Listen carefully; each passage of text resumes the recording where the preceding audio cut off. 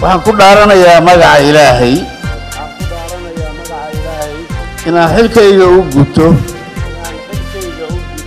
si daacad ah. Oo danta dalka. Oo danta dalka. Dadka iyo diinta ku jirto. Dadka iyo diinta ku jirto. Dhowrana dastuurka qaranka. Dhowrana dastuurka qaranka. Iyo shuruucda kale ee dalka u yaalla iyo shuruucda kale ee dalka u yaalla.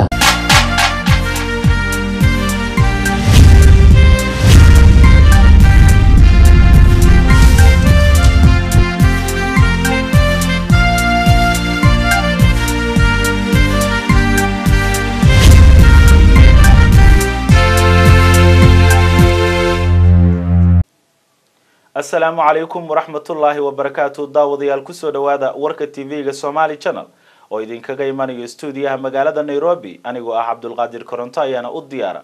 Qodobada xiisaha badan ee daawadayaal warkeena aad ku daawan doontaan waxaa ka mid noqonayo.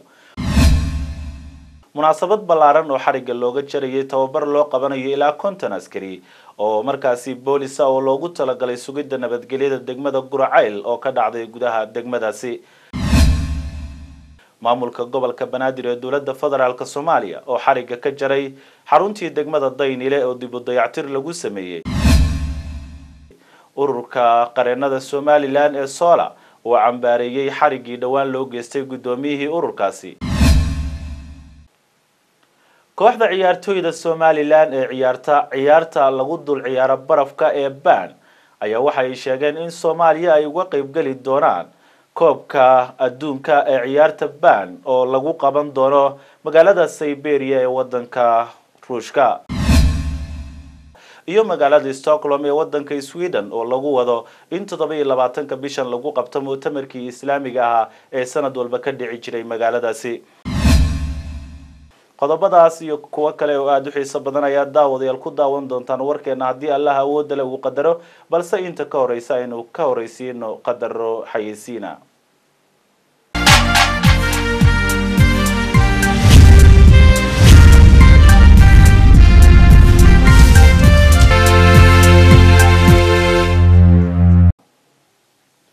maamulka gobolka banaadir ee dowladda federaalk soomaaliya ayaa waxa uu xarigga ka jaray xaruntii degmada daynile oo dib u dayactir lagu sameeyey. Sida uu warkan magaalada muqdisho inooga soo diray waryaheena ibraahim sheekh xuseen kadib munaasabad si harsaraa loo soo agaasimay islamarkaana ay ka soo qayb galeen mas'uuliyiinta gobolka banaadir. Xildhibaano ka tirsan baarlamanka maamulada degmooyinka iyo odayaasha dhaqanka ayaa waxa uu guddoomiyaha gobolkani banaadir uu xarigga kaga jaray xarunta degmada daynile guddoomiyaha degmada daynile ayaa waxa uu isagu marka hore faahfaahin ka bixiyey xaaladda ammaan ee degmadaasi. Waxaan rabaa mudaha guddoomiye inaan kaa siiyo faahfaahin yar oo kooban xaaladda ay ku sugan tahay degmada daynile degmada daynile waxaan xusiistaa wakhtiga aan imaanaynay. Culaysyo badan ayaa iska jiray. Laakiin waxaan leenahay maanta afarteeda gees meel aanan maanta aanan seexan karin oo aan ku nasan karin kuma jirto. Dhinaca kale maamulka gobolka banaadir maxamuud axmed nuur tarsan oo madasha ka hadlay ayaa yidhi war wasiirada cusub waxaan leenahay. Wasiir qol isku xidha afar mitir ee iskuweera isku xidha ee madaxtooyada gudaheeda gala een soo dhaqaaqin een ummadda u tegin. Wallaahi baadna wasiir u ahayn ummadda keligaa keligii wasiir baa tahay. Waxaan leenahay degmooyinka soo dega. Degmooyinka soo dega degmooyinka soo dega. Madaxweyne waxaan codsanaynaa in ay shuruud noqoto wasiiradu degmooyinka kala duwan in ay degaan in ayna degin. Meeshaas fartaas duuga inayna degin waxaan rabnaa laba wasiir inay daynina degto waxaan rabnaa laba wasiir inay degto yaabki waxaan rabnaa laba wasiir inay degto kaaraan waxaan rabnaa laba wasiir inay degto wadajir waxaan rabnaa laba wasiir inay degto hawl wadaag waxaan rabnaa laba wasiir inay warka nabadda degto war hadday sidaas war amnigii ma ballaarani mase ma ballaaranayo amniga inta ilaalinaysa ma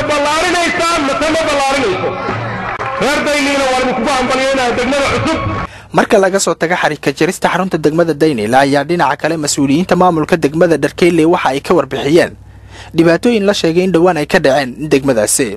Yuusuf ibraahim axmed kawaale guddoomiye ku-xigeenka degmada dharkeyle ayaa ka waramay shaqaan jaraa'id oon qabanayo waxaan qabtay inuu dhibaatooyin ka dhacay degmada dharkeyley oo aada iyo aada u fool xun oon ka dhicin ilaa waagadan intii aan joognay lix iyo tobanka degmo oo gobolka banaadir aan ka dhicin ayoo ka dhacay ayaan u qabtay maanta shirkaan jira waa la arkay wax la dhacay waa la arkay wax la dilana waa la arkay.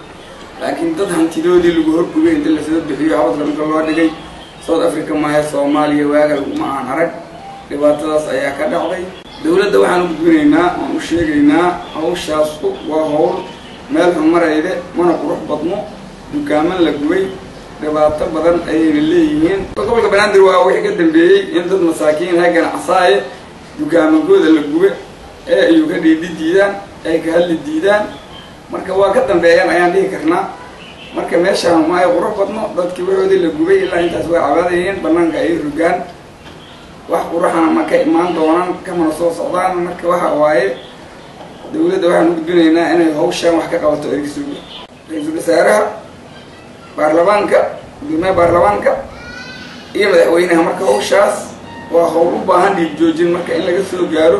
Ibraahim sheekh xuseen sheekaye somaali channel muqdisho. Ururka qareenada somalilan ee sola ayaa waxaa si kulul ay u cambaareeyeen xariggii dhowaan loo geystay guddoomiyihii ururkaasi. Waxaa warbixin umuurtaasi ku saabsan inoo soo diray maxamed faarax coomaade ururka qareennada ee somalilan ee marka la soo gaabiya loo yaqaano soola ayaa shir jaraa'id oo ay saxaafadda kula hadleen xafiiskooda magaalada hargeysa.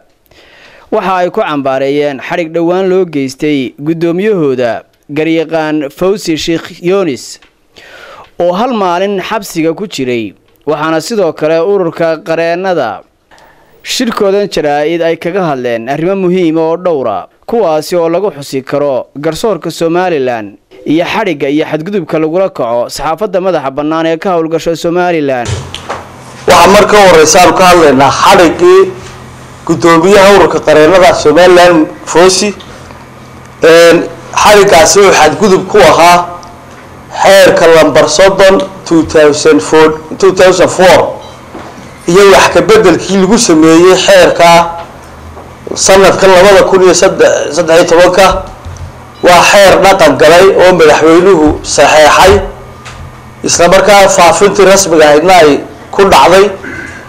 Marka xeerka oo aqoon badan aan loo loo lahayn inaanu baahino ayaan ugu talagalnay gefkii lagu xidhay guddoomiyuhuna inuu ahaa gef lagula kacay oo xeerkaa lagu gafay maadaama oon xeerkaa aqoon loo lahayn waxaa markaanu ka hadli doonaa muhiimadda xeerkaasi leeyahay qodobkiisa labaatanaad xeerkaasi waxau dhigayaa inuu qareenku leeyahay xasaanad inuu huwan yahay ama dhowrsanaan inuu huwan yahay qareenku. Ugu dambeyntii waxaa ururka qareennada ee somalilan talooyin u soo jeediyey golaha xeerdejinta ee somalilan iyo sidoo kale xukuumadda waxaana ka mid ahaa qodobadii ay u soo jeediyeen in golaha wakiilada ee somalilan ay ansixiyaan xeerka booliska ee horyaala iyo samaynta xeer gaar u ah maxkamadda ciidamada qalabka sida ee somalilan sibay yidhaahdeen looga badbaado in loo adeegsado dadka rayidka waxaa kale oo aan u soo jeedinaynaa oo aan u soo jeedinaa weliba laanta sharci dejinta ee baarlamaanka in ay ansixiso xeerarka waddanka ka dhiman ee qabyada ku ah ee hor yaalla.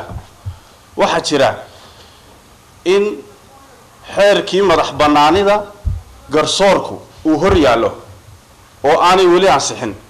Waxaan u soo jeedinaynaa in ay si deg dega u ansixiyaan. Waxaa kaloo hor yaalla xeerkii bilayska oo isna haddii uu soo bixi lahaa la heli lahaa ama xal loo heli lahaa tacadiyadan faraha badan leh ee kala gaadhaya dadweynihii iyo laamihii ammaanka. Marka waxaanu leenahay wixii aynu doonaynay fishinkeenu u aragtidii dheerida aynu u soconay wax qof doonayaan ugu dil. Qof wasiir doon wasiir waa nin shaqaalaha madaxweynaha iyo da wadanka mas'uulka. Wasiirada madaxweynaha da dirtay oo daa u yihiin dee staff yihiin siyaasadda wadanka madaxweynaha daada laga doonaya siyaasadda wadanka madaxweynaha jeexa baarlamankuna waa kii kuu controlay baarlamanka waxaan leenahay oon baa ku soo jeedinayna inay waajibaadkooda qabsadaan ay ku dagaalamaan sarreynta sharciga. Maxamed faarax omaade somaali channel hargeysa. Munaasabad aada u ballaaran oo tababar loogu furayay ilaa konton askari oo loogu talagalay sugidda nabadgelyada degmada gurceel ayaa waxa ay ka dhacday gudaha degmadaasi waxaana munaasabadaasi ka qayb galay maamulka ahlusunna waljamaaca iyo kan degmada gurceel. Haddaba waxaa warbixin inooga diyaariyey munaasabadaasi ibraahim xaashi cosoble oo gurceel somaali channel uga soo waramaa munaasibadan tababarka lagu furiyey ciidamo boolisa oo yeelanayso degmada gurceel ayaa waxaa ka soo qayb galay odayaasha dhaqanka maamulka degmada iyo weliba kansare ee ahlusunna waljamaaca munaasabada ayaa ujeedkoodu waxa uu ahaa ilaa iyo konton askari oo boolisa oo ay degmada gurceel yeelanayso in la soo bandhigo gudoomiyaha degmada gurceel cismaan ciise nuur taar iyo weliba odayaasha dhaqanka. Oo munaasabada uguran halkaasi hadal ka jeediya ayaa waxa ay ku booriyeen ciidanka booliska ee tababarka loo furayo inay cadaalada ka shaqeeyaan islamarkaana ay dul qaataan muddada tababarka ay qaadanayaan. Waxaan rabnaa maanta inaan halkan tababar uga furno konton askari oo ah booliiska degmada gurceel oo loogu talagalay inay ka shaqeeyaan amniga gudaha maadaama ay muddo dheer ku soo jireen howlihii lagula dagaalamaya khawaarijta haddana ay weli jirto laakiin aan rabnaad in arrintaas dib u qaabeyn ku samayno. Waxay ciidankaasi noqonayaan ciidan u adeega shacabka una khidmeeya hari habeenna soo jeeda. Iyagoo awalba howl ka dhib badan horey u hayay aan ognahay inay muddo badan soo shaqeeyeen. Haddaan ka hadalno marka booliis la yidhaahdo xuquuq badanaa ciidanka booliiska lagu leeyahay. Isaguna wuxuu yeelanaya xuquuqaad. Xaqiiqdii hadda ka hor hadday jirtay dowlad kumeel gaara iyo hadday jirto hadda mid federaala kumeel gaar ka baxday middoodna dadka deegaankan joogaa iyo ciidamadooda midkoodna waxba kama helin waa rajaynaynaa haddii ilaha idmo inay u soo jeestaan gobollada nabadda ah iyo deegaanada nabadda inay wax ku bixiyaan. Waxaa hadda aan inka rabnaana waa wax intii oo aada labalaabtaan ood wax u barataan oo aad haddeer dadkii aad ka difaacateen cadowga iyo dalkii iyo diinkii inaad wax u barateenaan inaad wax u barataanaan inku gubaabinayna oo nin walbaaba markuu laba nin la diriri jiray ama saddex la diriri jiray ninkiiba inuu toban la diriraan inku gubaabinaynaa gudoomiyaha guddiga fulinta ahlusunna waljamaaca sheekh cabdirasaaq cali mir al ashcari oo isna munaasabada ka hadlay ayaa waxa uu sharaxay tababarkan xilliga uu furmayo weliba muddada uu soo gabagaboomayo. Qabyaalad waa waxash koobaad oo ciidankaan ka wacyigelinayno qabyaalada qaran ma keento. Qabiilna qof khayr ku gaaray lama arko. Qabiil qof khayr iyo wanaag ku gaaray qabyaalad ma jiro laakiin qarannimo wax wax ku gaaray way badan yihiin. Idinka waxa la inka sugaayo waa wixii awal la inkaga bartay awalna lainku ogaay oo cadaaladda iyo isjacaylka dhexdiinna ah intii aad dadaal soo marteen ajirkeeda iyo abaalkeeda ilaahay ha in siiyo. Inta dambena sidaasoo kale in loo sii adkaysto oo dulqaad loo yeesho tababar marka la yidhaahdo dulqaaduu rabaa. Tababar marka la yidhaahdo oo adkaysiuu rabaa. Tababaradii hore soo mari jirteen sida aad ugu dulqaadataan mar labaad haddana cilmiga lagama maarmo. Waa la badsadaa cilmiga waa la sii kororsadaa. Tababarku waxaan rajaynaynaa insha allahu tacaalaa muddadiisu ma dhib badnaa doonto haddii ilaahay khaaliqaa yidhaahdo muddo hal bil ayaan rajaynaynaa inuu ku soo koobno haddii ilaahay khaaliqaa yidhaahdo gabagabadii waxaa soo xiray muuse macali maxamed tashada oo ka mid ah saraakiisha maamulka ahlusunna waljamaaca islamarkaana si gaara ula dardaarmay ciidamadan kontonka booliska oo yeelanayso degmada guriceel islamarkaana muddo bil ah tababarka qaadanaya. Waana loola dardaarmay haddii aan nahay ciidanka booliska shaa'ikhda iyo guddoomiyeyaasha iyo odayaasha dhaqanka dhammaantood waa nala dardaarmeen halka kelimo oo aan raba inaan sii adkeeyo waxa ay tahay raggeena ciidanka ah oo booliska waxaan rabaa kelimo guddoomiyuhuna uu ka dhawaajiyay ayaan rabaa inaan sii adkeeyo oo ah cadaaladda ilaahay hana waafajiyo. Inaan u cadaalad samayno bulshada aan wax u soo barahayno u soo tababarahayno waadna ku mahadsantihiin amnigii sidai aad usugu jirteen iyo shaqadii aad qaban jirteen. Waan ka mahad xaqiiqatan oo bulshadeenna ay nagala qayb qaadan jireen. Ibraahim xaashe cusoble telefishinka caalamiga ee somaali janal degmada guriceel xaflad aad u ballaaran oo ay ka soo qayb galeen guud ahaanba qurbajooga soomaalida ee dalka kanada gaar ahaana magaalo weynta toronto ayaa waxaa lagu qabtay hoteelka caalamiga ee holiday inay ku yaalla galbeedka magaalada toronto xafladda ayaa ujeeddada loo qabtay waxay ahayd mid loogu baroor diiqay. Xildhibaan maxamed warsame maxamed oo loo yaqiina faysal oo lixdii bisha labiyo tobnaad ee sanadkan labada kun iyo saddex iyo tobanka. Walxaha qarxa oo loo dhexgeliyey gaari uu watay xilli uu ku sugnaa gudaha madaxtooyada dalka soomaaliya ku geeriyooday xildhibaanka oo aad dadka qurbo joogta ahee reer kanada u hadalhayeen ilaa iyo intii ka dambaysay geeridiisa ayaa waxaa ka hadlay madasha loogu qabtay baroordiiqda guud ahaanba aqoon-yahanka kala duwan ee soomaalida. Waxaa ka hadlay garyaqaano iyo weliba waxgaradka soomaaliyeed oonu kala hadhin waxaana la muujiyey oo guud ahaanba dadkii goobta ka hadlay ay hoos ka xariiqeen inuu jiro tuhun aad u ballaadhan oo laga qabo dowladda federaalka ee dalka soomaaliya in ay ka dambaysay dilkii marxuum xildhibaan maxamed warsame maxamed faysal oo walxaha qarxa oo loo hoosgeliyey gaadhi uu watay ku geeriyooday xilli uu ku sugnaa gudaha villa soomaaliya.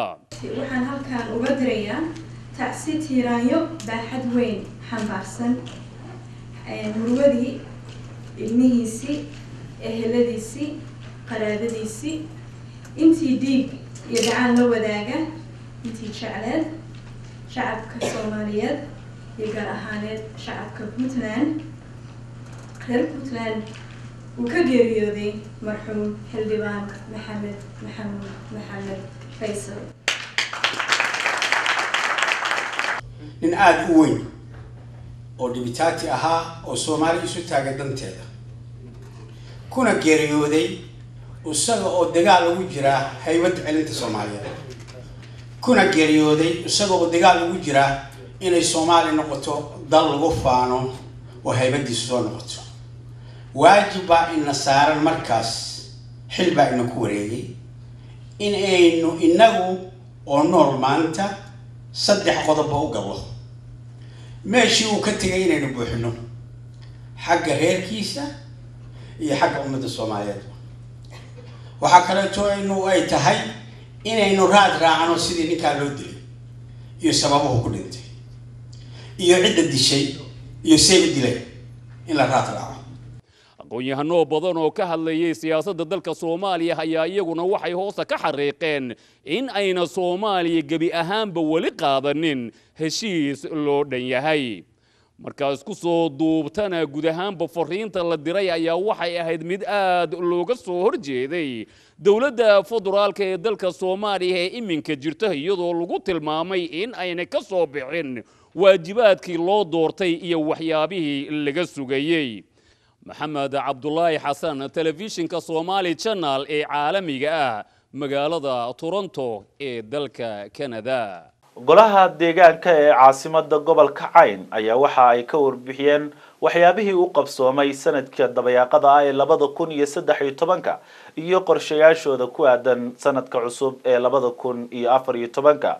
Waxaa warbixin umuurtaasi ku saabsan inoo soo diray cali dhagjar kulan ay buuhoodle ku yeesheen xildhibaanada golaha deegaanka buuhoodle oo shir guddoominayay guddoomiyaha golaha deegaanka ee buuhoodle carab xasan fadal ayaa kulankan waxay kaga hadleen waxqabadka golaha deegaanka u qorshaysan inay qabtaan sannadda labada kun iyo afar iyo tobanka haddii eebbaha awoodda la ogolaado waxaana kulankan wareyn ka hadlay salabaan cilmidhel oo isagu afhayeenka golaha deegaanka u akhriyay waxqabadkooda ay qaban doonaan. Sidoo kale halkaas waxaa si wada jira uga hadlay guddoomiyaha golaha deegaanka qaar ka mid a xildhibaanada golaha deegaanka iyo weliba mas'uuliyiin kale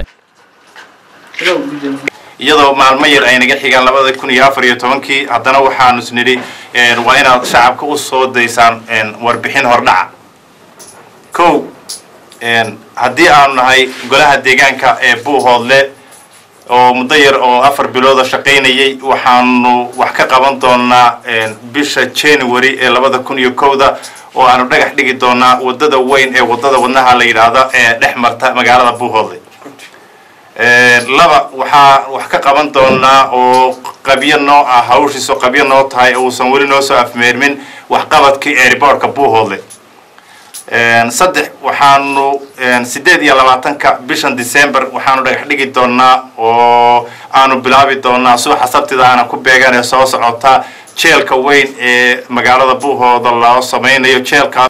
Qodobka afraad waxaanu wax ka qaban doonaa haddii ilaahay qadaro isla january saribadii buuhoodle saribada buuhoodle waxaa la aasaasay kun sagaal boqol toddobaatan iyo labadii dowladii kacaankii maxamed siyaad barre ayaa samaysay. Weli waa sidii qeybta howlahaas sidii horeyba loo sheegay waxaan jecel lahay inay bilowdaan sanadka cusub haddii alla waxqabadkooda la bilaabo bisha koowaad. Ama waddada ha ahaato ama airboortka ha ahaato ama jeelka ha ahaato ama wixii kale la mid ahe deegaanka qabyaka ha ahaatee xilligaa haddii ay lahayd baynu u diyaargaroobeynaa dadkeennana waxaan ugu baaqaynaa dibad iyo gudaba in howlaha loo diyaargaroobo oo wax la qabsado. Dadkuna markuu wax qabsado ayaa ciddii kale wax la qabanaysaana ay u muuqanaysaan oo ay soo joogsanayaan. Sugaana oo abwaanka weynaha soomaaliyeed xaji aadan afqaloox uu yidhi waxay ahayd aboorku baa leylku dhasa aqallo waaweyne markuu ururay daartu abye baa laashqaraara markuu ururay daartu abye baa laashqaraaraaye ilka wada jirkooda hilbaha adag ku gooyaan hadday iniba meel tagtaa dhaxma feentaan haddii qofku dadku kala tago oo awooddu wiiqanto oo dhaqaaluhu wiiqmo oo maskaxda wiiqanto ummaddaasi waa dilooda war maskaxda dulliga ha la iska daayo. Cid maanta inaga hanti badan oo inaga istiraatiijiyad badan oo inaga dhul badan ma jirto. Soomaaliyana maanta waa simanta. Kala dheerayn mayso gobol gobol baa loo tartamaya degmo degmo. War dadka reer khaatimo guryihiina iyo dhulkiina ilaansada oo qurba joog iyo daljoogba u jeesta inaad dhulkiina gelisaan mashaariicda warshadihii samaysta maalgashi dhaqaalaha samaysta dhulkiina wax ka dhigta manaahijtiina iyo iskuulladiina samaysta beerboodhadiina samaysta amnigiina iyo ciidankiina ku tashada. War isku tashada oo noqda kuwa la soo aado ha noqonina kuwa haajiro guriga laalaba ka guuraynayo la hortaagayo la horaynayo waa cali cismaan isuf cali telefishka caalamiga ah ee somaali channel magaalada buuqood ee xarunta gobolka maamulka dowladda hoose ee degmada kamakuuji ayaa waxa ay ka warbixiyeen howlo dib u dayactira oo laga waday qaybo ka mid ah waddooyinka xaafadda islii ee magaalada nairobi. Maxamed ismaaciil shiine oo ah maareeyaha degmada kamakuuji ee markaasi u qaabilsan xafiiska xildhibaan yuusuf xasan oo u waramayay somali channel ayaa waxa uu ka warbixiyey howlo dib u dayactira oo ka soconaya qaybo ka mid a waddooyinka xaafadda islii waxaana uu sheegay in ay dib u fureen waddada jedar waringo oo markaasi dib u dayactir lagu sameeyey kadib sida uu tilmaamay markii ganacsatada iyo dadweynaha ay ka codsadeen in loo furo wadadaasi oo ah muhiim u ah isu socodka gaadiidka dadweynaha ee xaafadda islii isagoona ugu baaqay ganacsatada iyo dadweynaha xaafadda islii inay dhowraan nidaamka islamarkaana ay ilaaliyaan nadaafadda iyo bilicda xaafadda islii ee magaalada nairobi. Waxaan rabaa inaan dadweynaha xaafadda islii ogeysiiyo. Wadada general wayringu waxaa la furay maalintii shalay. Sababta loo furina waxay ahayd in badan dadweynaha xaafadda iyo ganacsatada oo ka qayliyey waddada meel laga soo galay inaysan lahayn waqti dheerna ay qaadatay marka waxaan go'aansanay inaan shirkadii ka dhaadhicin inay waddada intii ay dhammaystirtay ay sii furto kuwa kale intii ay ka dhammaystirayso. Marka alxamdulilah maalintii shalay ayaa la furay. Dadweyne badanna aad ayay u soo dhaweeyeen waynana soo wacayaan hambalyooyin badan ayaa welina soo gaaraya. Laakiin tan jirtaa waxay tahay wadadii waa la furay baabuurtii iyo basaskii dhan wadadii ayay dhex yaalaan wadadii ayay dadka ku dhex ganacsanayaan wadadii dhexdeeda baabuurta lagu samaynayo sidii garaash oo kale. Marka waxaan ka codsanayaa walaalahii soomaaliyeed khaasatan soomaalida islii in ay wadadana nadaafadeeda ilaaliyaan kana dhaafaan waddada dhexdeeda ganacsiga. Shalay waxay nagu kaliftay waddada markii la furay jaam intuu noqday. Aan askar dheeriha u keenno sife ay waddada ay u baneeyaan baabuureyda u isticmaalaan. Marka hanagu kalifina inaan trafig iyo booliis xaafadda ay yimaadaan maalin walbana baabuureyda iyo basaska lagu dhago waxaan idinka codsanaynaa. Maadaama wadadii la furay xaafadda toonkana ay tahay laba daqiiqo ku tegid ama ka soo noqidba baabuureyda ganacsatada tagsiilayaasha iyo basasleyda waxaan ka codsanaynaa. Mar labaad iyo mar saddexaadba in ay ilaaliyaan waddada jaamkana ka ilaaliyaan aysanna ka dhigan boosaajo ama meel baabuurta laga raro kooxda ciyaartooyda somalilan ee ciyaarta ciyaarta lagu dul ciyaaro barafka ee ban ayaa waxay sheegeen in soomaaliya ay uga qeybgeli doonaan koobka adduunka ee ciyaarta ban oo lagu qaban doono magaalada siberia ee wadanka ruushka. Ibraahim maxamuud jaamac ayaa warkan sweden ka soo diray somali band waa koox ciyaartooy soomaaliyeed ah oo markii ugu horeysay ciyaarta ciyaarta bandida loo yaqaano ciyaartan ayaa ah mid lagu dul ciyaaro barafka. Kooxda soomaaliyeed ayaa laga aasaasay magaalada bolanya ee wadanka sweden. Ciyaartooydan ayaan ku booqanay garoonka ay ku tababartaan. Axmed waa boortiyeriga kooxda. Waxaanu ka warbixinayaa dareenkiisa ku aadan ciyaartan bandida oo ah ciyaar ku cusub dadka soomaalida wallaahi waa meesha ku nool waa dhulka inaa wada baraf soo maaha marka waxa laga qabsado marka waa qasab marka haddana saa'ida ula qabsanay wax hadeer na joogna male. Ilaan waa noo fududay haddana ciyaara kabiin waa ku soconaa haddana training waa wadnaa training insha allah waana badaynaa waxaan jecelnaha ilaan si fiican hadda aan ula weli xitaa waxaa naga sii dhiman laakiin waa sii dadaadayna insha allah mursal waxa uu ka mid yahay asaasayaasha kooxda somali band waxaanu ka warbixiyey ujeedka loo asaasay kooxdan iyo weliba hadafka ay higsanayaan magacayga waxaa la dhahaa mursal ciise waxaan ka mid ahay soomaalida degan degmada boorlenge iyo aasaasayaasha kooxda somali bandi.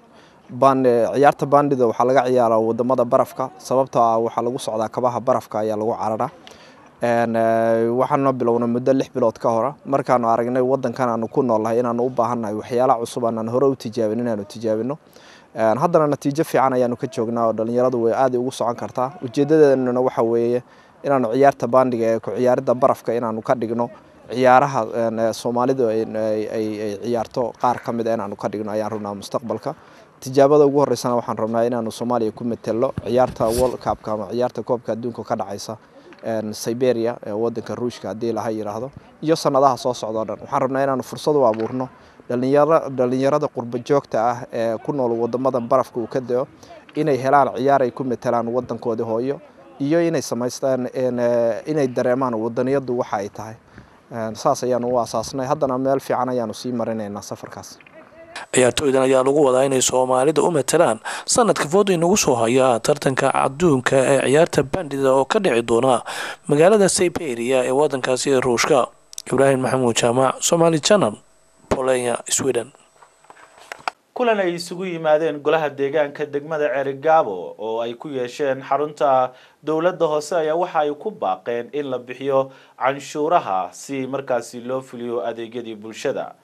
Yuusuf cabdi xasan ayaa warbixintan inoo soo diray shir jaraa'id oo lagu qabtay xarunta shirarka golaha deegaanka ceerigaabo ayaa waxaa halkaasi markii ugu horreysay. Golaha deegaanka ceerigaabo iyo maamulka dowladda hoose waxay si wada jira dadweynaha ugu baaqeen inay iska soo xereeyaan cid kastoo cashuurta dhulka iyo liistanada lagu leeyahay. Inta ka horreysa bilowga sanadka cusub ee laba kun afar iyo tobanka waxaa sidoo kale shaaca ka qaadeen in dhulka bannaan ee cashuurta lagu leeyahay. Haddii muddadaas lagu bixin waayo dhulkaasi la siin doono cid kastoo diyaar u ah ama uu noqon doono dhul dadweyne oo loo adeegsado danta guud. Waxaana shirkan jaraa'id ugu horeyn ka hadlay kana warbixiyey nuxurka shirka xildhibaanada golaha deegaanka qaarkood oo ay ka mid yihiin xildhibaan cabdi cabdilaahi dalad xildhibaan maxamed axmed kable iyo xildhibaan yuusuf xasan. Waxaana hadalladoodii ka mid ahaa wixii cashuur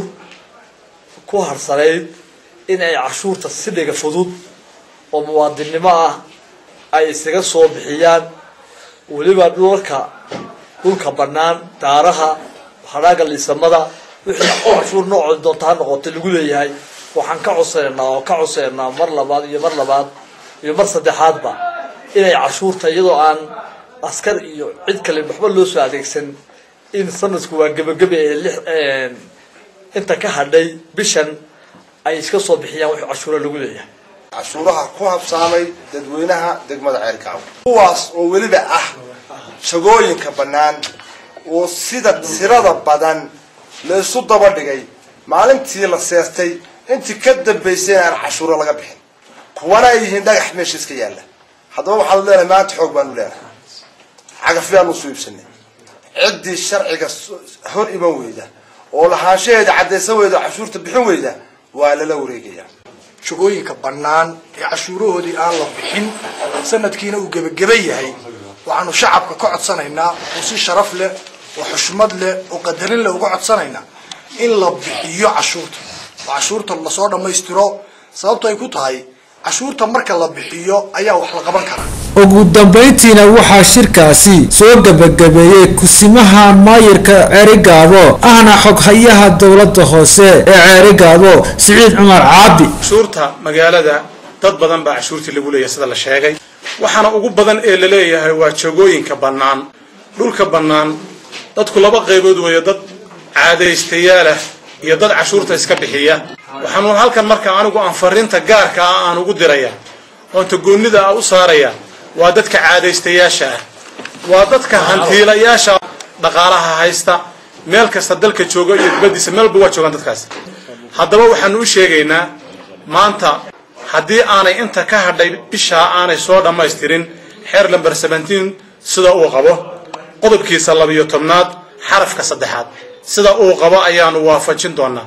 Dhulkaana ma laha ee waxa leh dowladda ayaa leh yuusuf cabdi xasan cadde tv-ga caalamiga somali channel magaalada ceerigaabo xildhibaanada golaha deegaanka degmada gabiley ayaa maanta yeeshay kalfadhigoodii afaraad ee golaha deegaanka degmada gabiley fadhigani ay yeesheen golahu ayaa ahaa mid ay albaabada u xidhnaayeen islamarkaasina ay kaga doodayeen qodobo dhowr ah oo asaasiya fadhigaasi kadib ayaa qaar ka mid ah xildhibaanada golaha deegaanka degmada gabiley oo warbaahintu wax ka weydiisay fadhigoogaasi. Ayaa waxa ay sheegeen in qodobka ugu xasaasisan ee ay ka doodeen golahu ahaa xaalada biyaha gebile oo gacanta ku hayso shirkad madax bannaan islamarkaasina ay muddooyinkan dambe ay si istaba jooga ay uga cabanayeen dadweynaha reer gebiley gaar ahaan danyarta oo awood u weyday inay soo gashadaan biyahaasi. Taasina ay sababtay biyo la'aan soo food saartay dadka danyarta ah.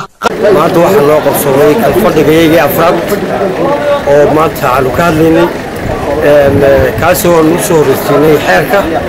Xeerkiina aanu bilaabi doonno xeerka cusbaan sharci yaqaanku noo keenay meel aad iyo aad wanaagsan noo maraysaa biyuhu way noogu jirtaa cajataa biyuhu mar kasta way ku jirtaa waa muqadis inay ku jirto arrimaha biyaha laga hadlo waa muqadis waayo baahida ugu weyn ee gebila ay maanta qabtaa waa biyaha.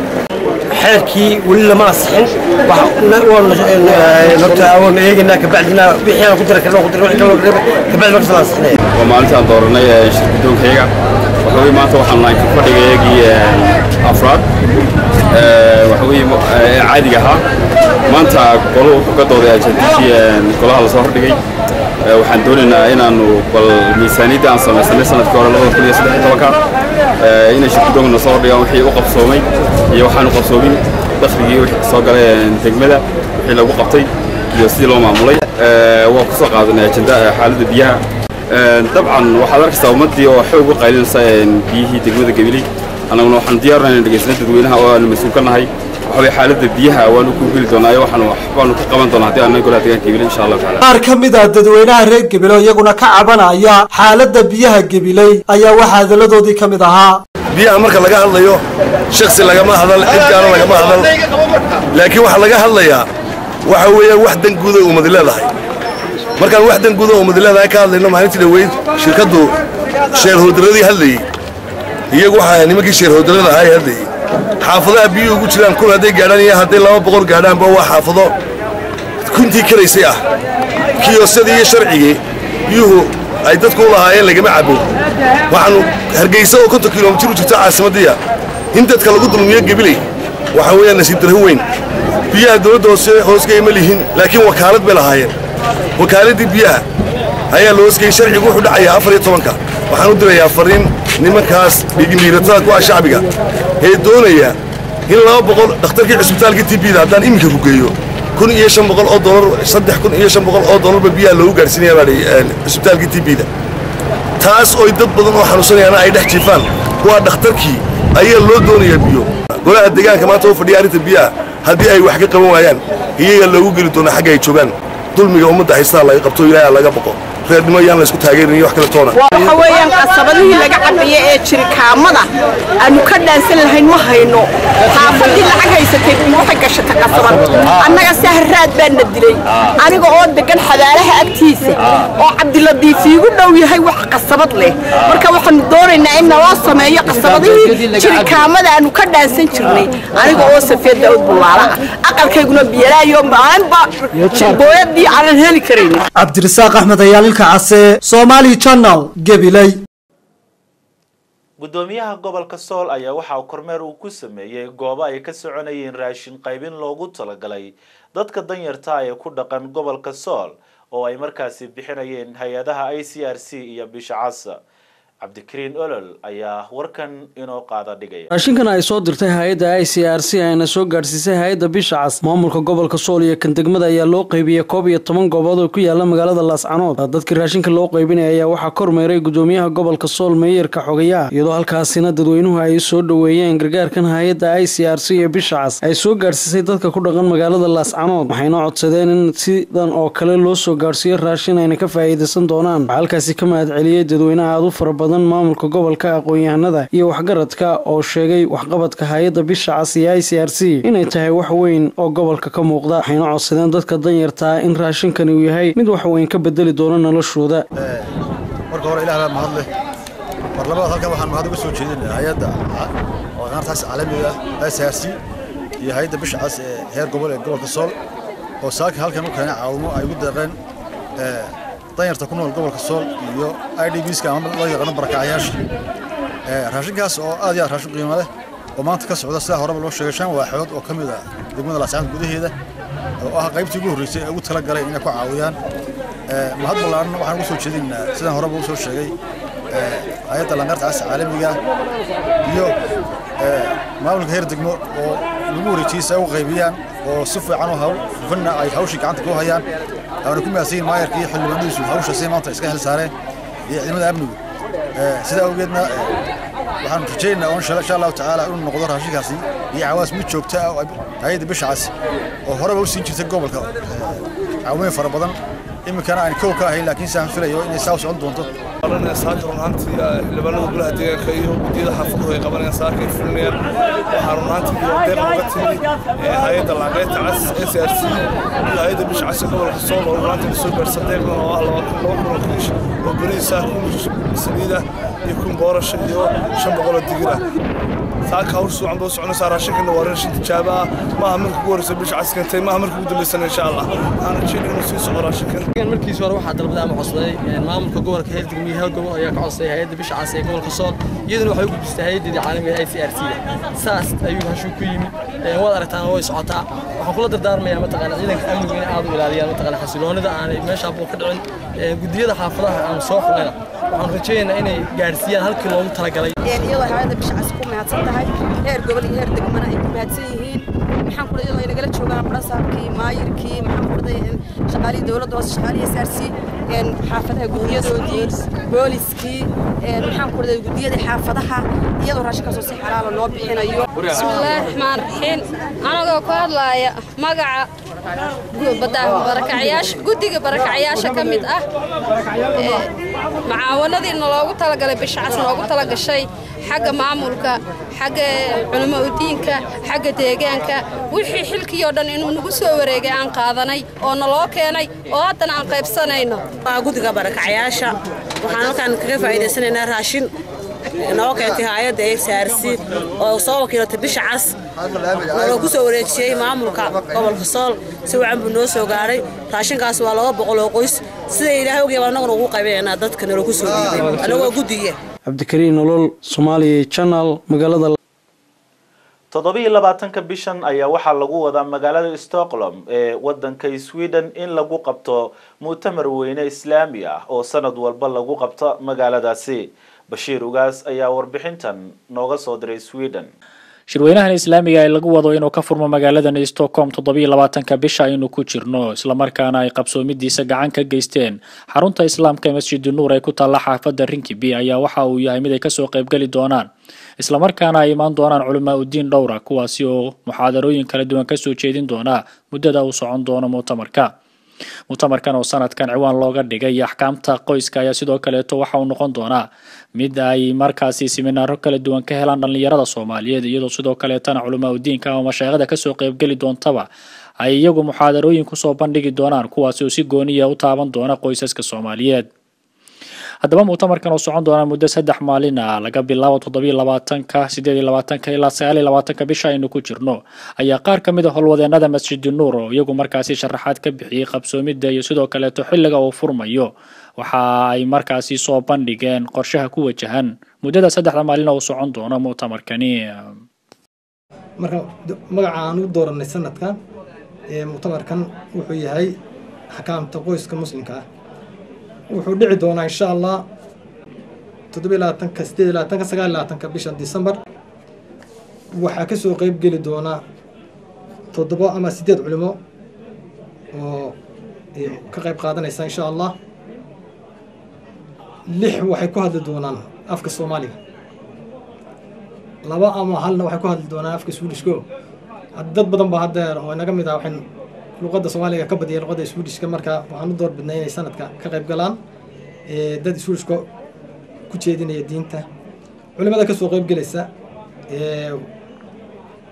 sanadkan oo hadda ka qayb gelaysa insha allah waa sheekh maxamed idriis sheekh yuusuf axmed sheekh siciid maxamed faarax sheekh mustafa abu rawda sheekh cabdisalaam xoday iyo sheekh mahad daahir ilaahay baa mahadle.